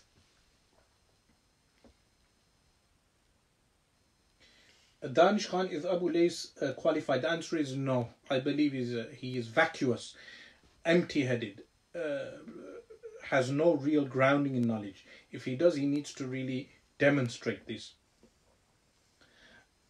Asrar Rashid. Uh, Salafis say that Imam Abu Hanifa is a murja and that he is a good murja. What do you say on this? well, if he is a good murja, then there's no problem. Meaning there's a category of murja which were considered Sunnis. So there is no problem if they say he is a good murja, which is an, a type of irja which is considered within the boundaries of Sunni Islam.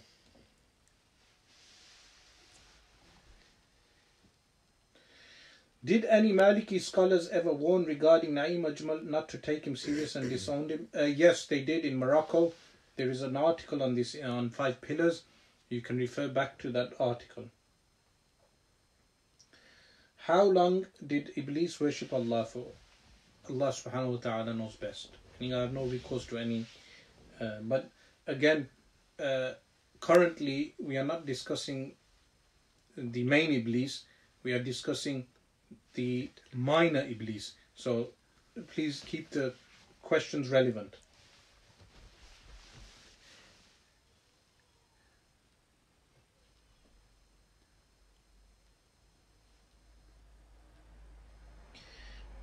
A question with Sunnis following uh, uh, Abu Layth, do you think learning rational theology is pertinent for youngsters? If so, should this subject uh, um, be brought forward to in under, undergraduate studies? What are prerequisites for learning rational theology? You can start with the basic text without prerequisites. Like uh, Sheikh Ahmad bin Zaini Dahlan has a text which is in English called the Essential Islamic Creed. That text I taught up and down Britain in the year 2016. People up and down UK learned that text. There is also a recording online of one of the lessons. Uh, the this text should be taught by everyone who is qualified to do so up and down UK, teaching young people how to rationalize their belief, but at the same time not rejecting the Quran and the Sunnah and the Ijma' the consensus of the Ummah.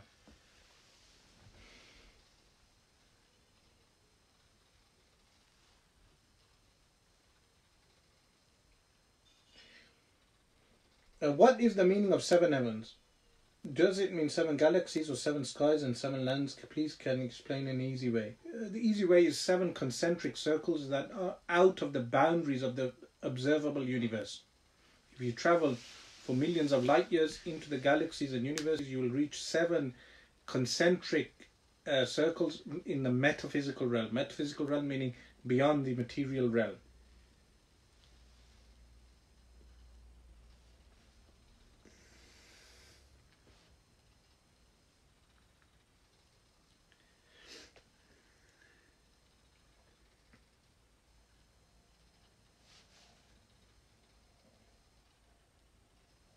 Muhammad Ali, uh, I've heard that Abu Bakr al Jassas in Al Ahkam al Quran said that there was a group of Salaf who said seeing Allah means seeing the mercy of Allah and His reward as opposed to seeing Him. I'm am unaware of this quote. Uh, after this live, I may check this quote. Uh, but this uh, quote needs to be verified. There's a question am I able to deny the Prophet sallallahu alaihi wasallam having black magic on him as from what I understood Abu Mansur al-Maturidi denied it. Please present uh, the the rejection of that but the general opinion is that the magic did not affect the Prophet sallallahu alaihi wasallam in the way we uh, uh, people are affected common people are affected by the magic. It affected in a very limited sense and this was only done uh, for tashri, meaning for law giving purposes. But of course, this is a detailed discussion. This is a, the common opinion. Then others like uh, the scholar of Hadith in Karachi, uh, late scholar Ghulam Rasul Sa'idi, rahimullah, he uh, he denied this uh, also. He denied the narration and critiqued the narration. There are others who critique the narration. Uh, so this uh, thing, this actual narration needs a deeper analysis.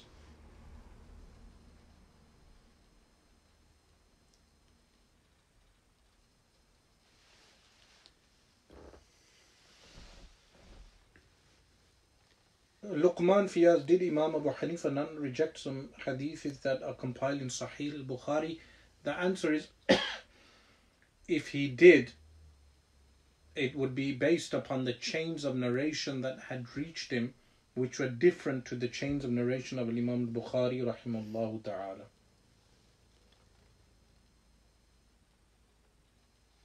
So, I will uh, go through some of these questions which are relevant now to the subject. And if there are no uh, relevant questions to the subject, then we will be uh, switching off, inshallah, for the night.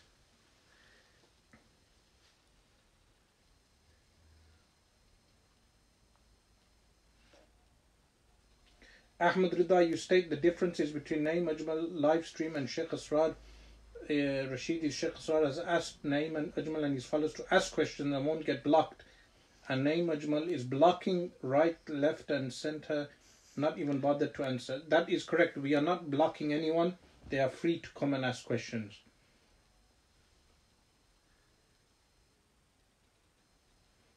Uh, again, just for the listeners, I'm only answering those questions which are now relevant to the subject.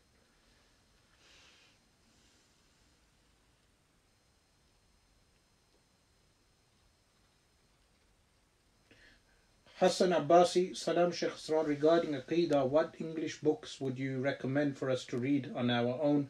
And after going through Imam Bajuri's epistle and your lectures on that book, what would you recommend should be the next step for Aqidah? Firstly, Sunni publications.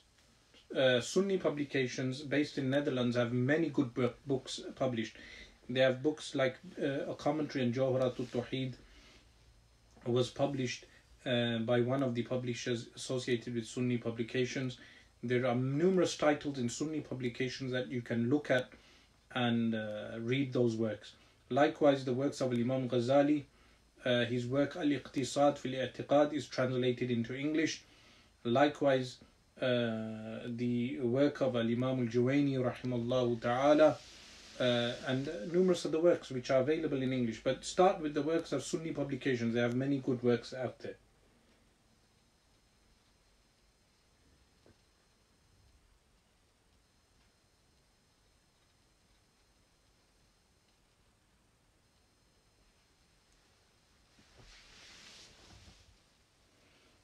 Tanzil Afzal al-Maturidi, you ask regarding uh, hadith works. Um, the Muqaddimah ibn Salah rahimullah is translated into English.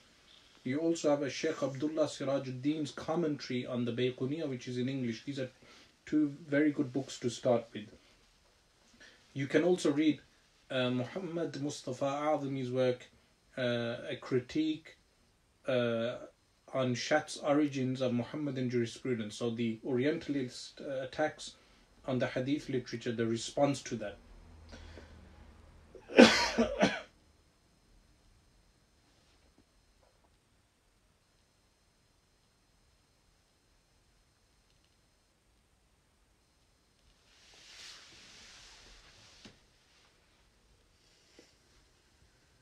Remember, brothers, I am only answering those questions which are relevant.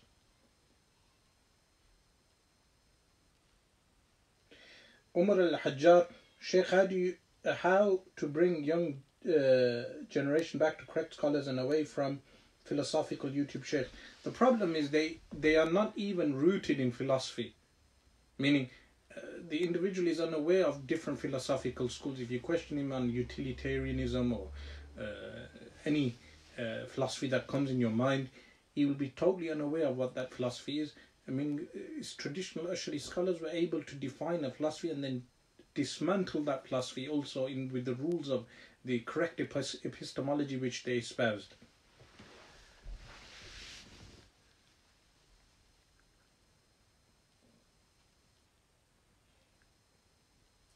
Abu Layth claims to have ijazat isna through ulama such as Sheikh Muhammad Abu Khubza.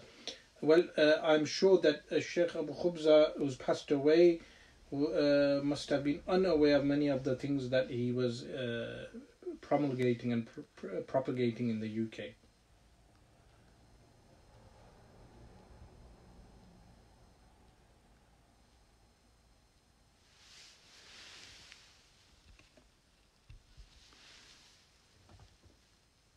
Again, please only pose questions which are relevant to the subject.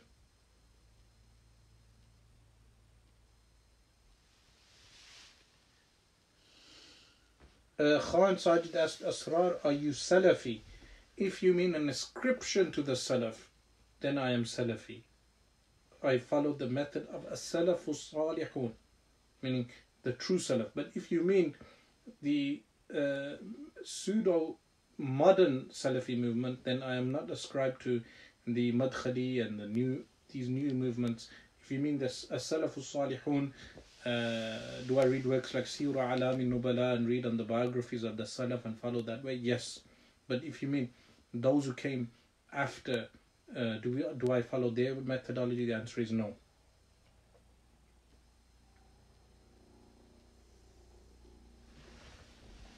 Muhammad uh, Shiraz asks, Sheikh, did I hear it correct that you said that Abu Layth has connections with modernist Javed Ghamidi from Pakistan? is that modernist teacher of Abu Layth? I didn't say he's his teacher. I said his views are similar to the views of uh. He's very clearly copying and pasting some of his arguments. Uh, likewise, uh, Khizr, uh, the person I mentioned, Khizr Hayat Bakrawi, he's taking from him.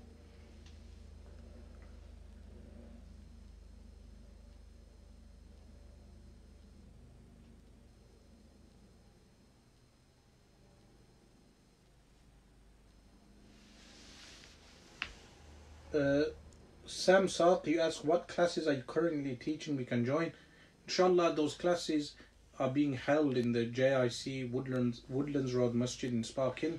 You can attend from half six till eight on Monday to Thursday, as well as on a Sunday we have the Al Jami' of Imam Tirmidhi from six to eight.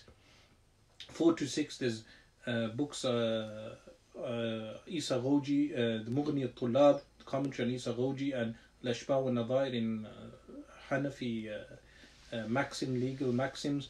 On Fridays in the same masjid in Sparkhill, there is a Darsul Quran for half seven. In Tafsir al Quran, we are going through Surah Al Imran.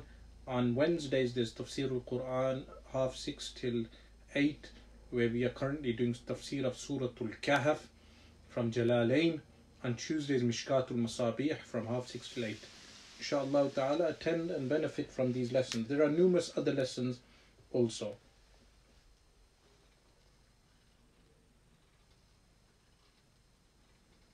Khan Sajid, Brother Asrar, what training program would you advise Abu Layth to take to make his chest more in shape, please? Maybe uh, 300 press ups on a daily basis.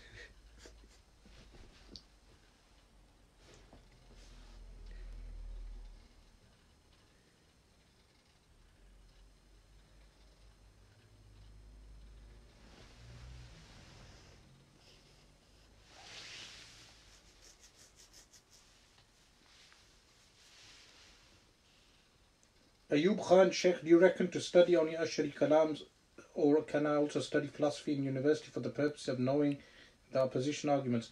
Ayub Khan, firstly, you should ground yourself in Ashari Kalam and Quran and Sunnah.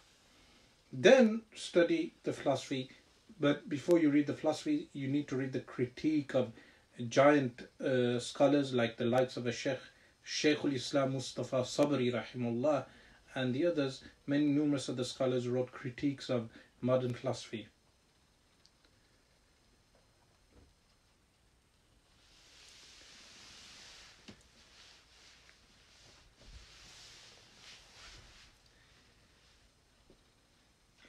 Uh, Aman Mansour, what do you think about Sheikh Saeed Fouda from Jordan, a Sunni scholar with superb editions, uh, uh, critical editions of Sunni works? An amazing uh, scholar who has done good work for Ahl Sunnah wal Jama'ah. May Allah subhanahu wa ta'ala preserve him.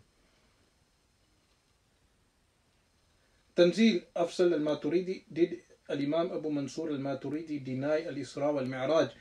I doubt it very much because the Sunni ulama they have agreement on the al-Isra wal-Mi'raj.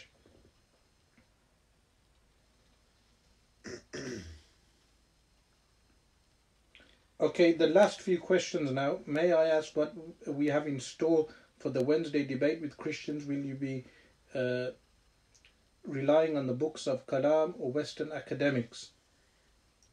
Well, I think we need to wait for uh, the debate. Uh, of course, the main book I will be relying on to debate them is known as the Holy Bible, the the the scriptures that they believe in.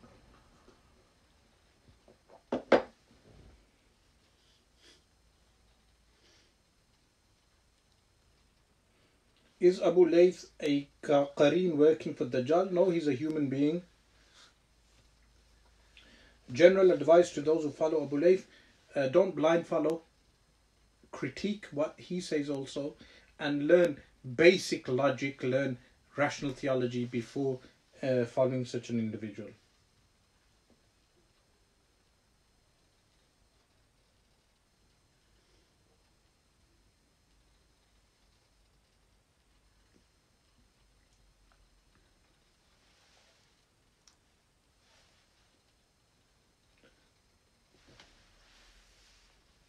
Here uh, a question.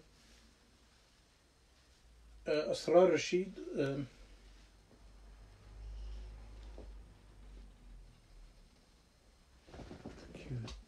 so, Asrar Rashid Ibn Taymiyyah said anything that exists must have a form or image, otherwise it doesn't exist. Does this show Ibn Taymiyyah compared Allah to the creation? Ibn Taymiyyah a work called. At-Tadmuriyah is where he lays out his principles of tashbih there is a critical edition of uh, the Tadmuriyah, meaning a critique of the Tadmuriyah done by a Sheikh Said Fuda, which has been translated into English as the Palmyrian Creed. This is published by Sunni Publications. Refer to that and read that work, inshallah.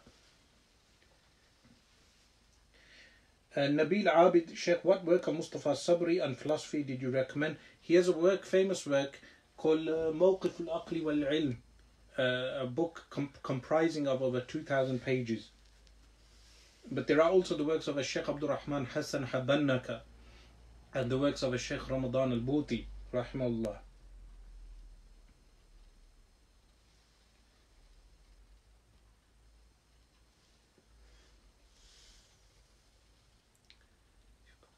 Uh, Ayub Khan, an important question. Um, Sheikh, have you seen Hassan Ridwan's third rebuttal to you? To you, will you be doing another response to him, inshallah? Ayub Khan, yes. Uh, I haven't managed to sit down and record the rebuttal, but uh, the answer is very simple. I watched the the video. Inshallah, do dua. Allah Subhanahu wa Taala gives me time where I can make a third rebuttal to that atheist.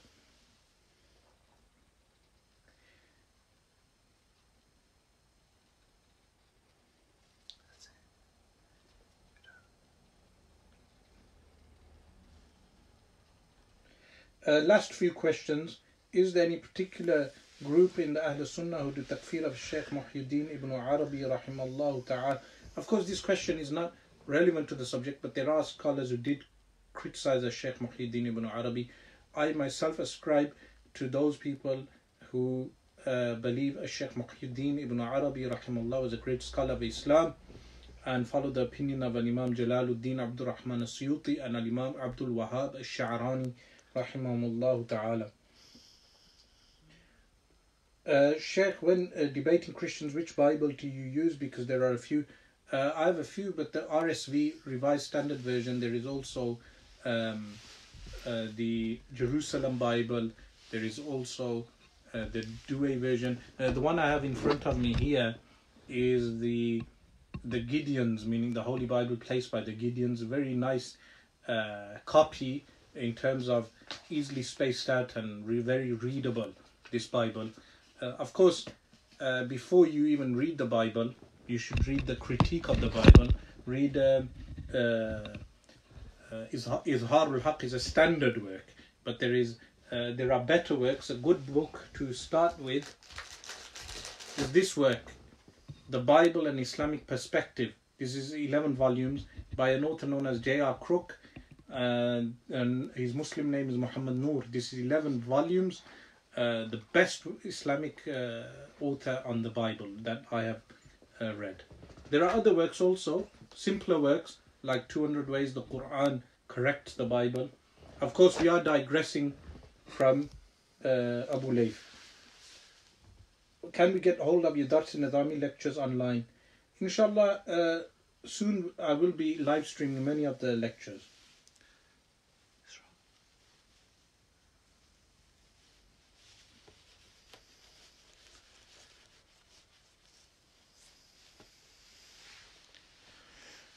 Inshallah, uh, we will be calling it a night. Uh, the opportunity was given to Abu Layth and his followers, uh, mainly to his followers, to come and critique anything I have said. Of course, this is a, a summary of the critical method of how Abu Layth needs to furnish principles, lay down the principles of what he follows, how he interprets the texts of the Quran and the Sunnah, and the linguistical rules, the, the rules of Arabic language, and present a rational method.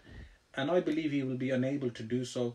As for his followers, if they still choose to blindly follow him and are unable to answer any of the points that I have made, then to them, uh, lakum dinukum waliyadin. Meaning you have your religion and we have our own religion, which is the way of Ahlul Sunnati wal Jama'ah. Walhamdulillahi Rabbil Alamin.